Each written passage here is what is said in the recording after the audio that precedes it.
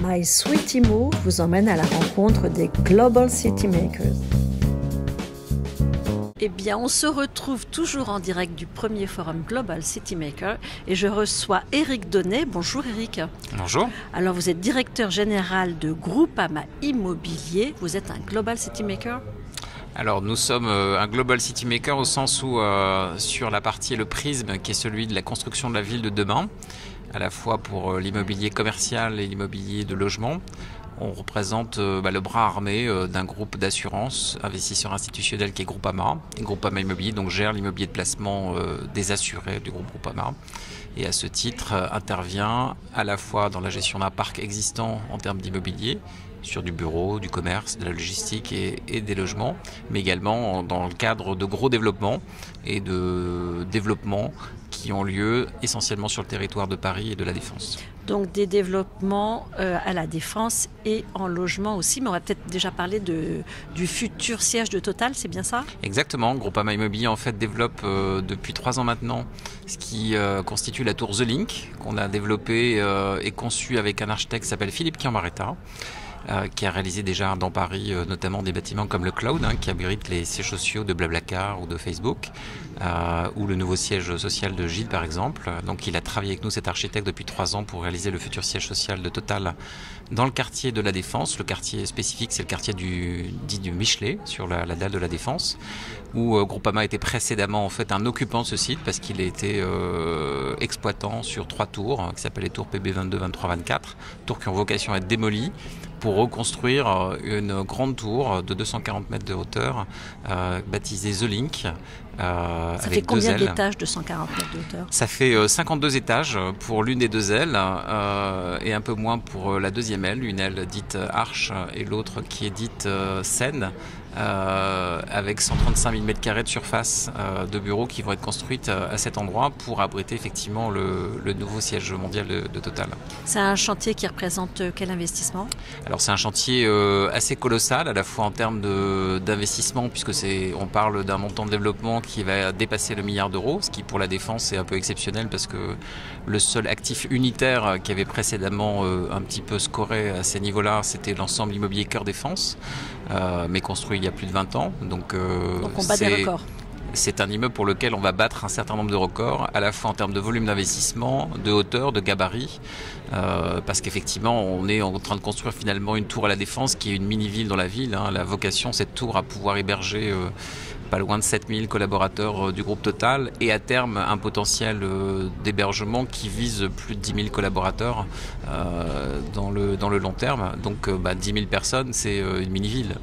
Donc 10 000 personnes, c'est une mini-ville. Elle va voir le jour, vous disiez, en, en 2024. En 2024. Donc ça va être un des projets FAF, plus qu'un projet de, cette métropole euh, du Grand Paris dont on parle aujourd'hui.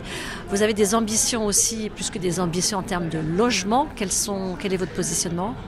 On a de, fortes ambitions en termes de logement. Pourquoi? Parce qu'en fait, pour un assureur et qui parie sur du long terme, euh, le logement est, un investissement euh, de long terme. Ça correspond bien à nos, attentes.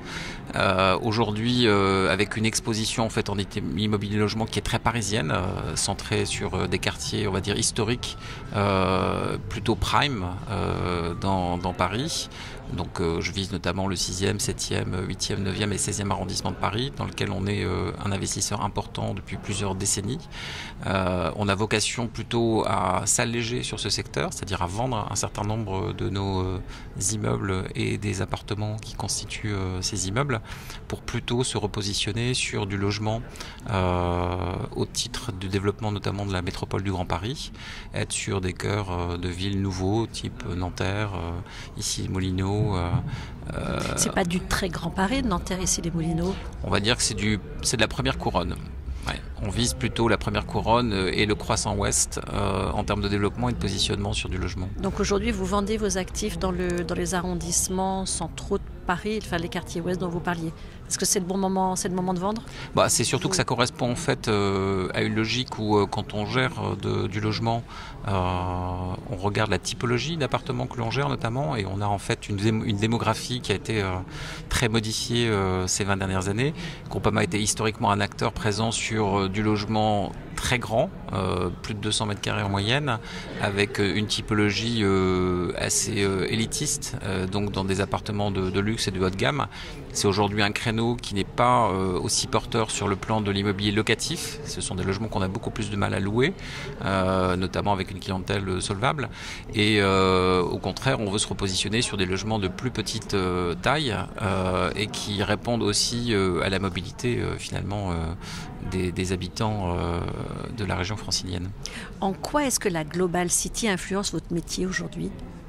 Bah, la Global Cities, elle influence notre métier parce que quand on fait de l'immobilier, on a euh, nécessairement une vision de très long terme. Euh, il ne s'agit pas de construire euh, pour nous une ville avec un horizon de temps qui serait celui de 10 ans. On va bien au-delà. On est en train de construire euh, nos propres investissements pour 2050.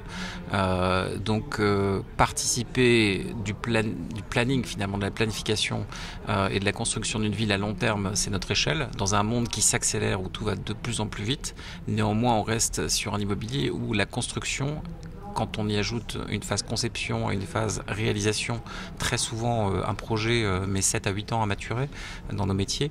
Donc euh, participer d'un forum comme celui-ci, Global City Makers, permet à la fois d'amener des critères de visibilité dans nos métiers, alors que dans beaucoup de situations, euh, on est euh, surtout en questionnement plus qu'en réponse. Euh, et de la même façon, à se comparer aussi à d'autres villes, venir se benchmarker avec des gens qui rencontrent le même type de problématiques et voir les réponses qu'ils y apportent. pour nous, en tout cas, on parlait ce matin essentiellement de la vision économique sur le développement des quartiers d'affaires et notamment d'un quartier spécifique qui est celui de, Paris La Défense. ce quartier vit une vraie mue à la fois parce que euh, son aménageur euh, s'est transformé l'année dernière, puisqu'il y a eu la fusion de deux établissements publics, l'EPADESA et De facto, pour réaliser un seul établissement public local qui est Paris La Défense. Et puis de la même façon, il y a un grand nombre de développements sur ce secteur duquel on participe, à la fois avec notre Tour The Link dont je parlais précédemment pour Total, et on vient également de réaliser et de livrer le siège social de RTE, le réseau de transport d'électricité, sur un immeuble qui est baptisé Windows sur 45 000 m2. Et donc on est un acteur important de cette ville de demain. Merci beaucoup d'avoir été avec nous, Eric Donnet. Je rappelle que vous êtes directeur général de Groupama Immobilier. Merci à vous.